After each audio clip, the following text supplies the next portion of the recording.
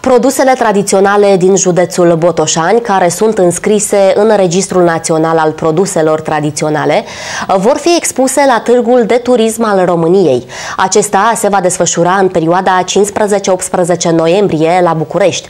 Cașcavalul de vlăsinești, produse de panificație, produse din carne și alte produse lactate vor fi expuse alături de dulceața de trandafiri la acest eveniment. Și asta datorită unui parteneriat încheiat între Direcția pentru Agricultură, Consiliul Județean Botoșani și Asociația Produs din Botoșani. La nivelul județului Botoșani există 24 de produse de la 13 procesatori care sunt atestate ca fiind tradiționale.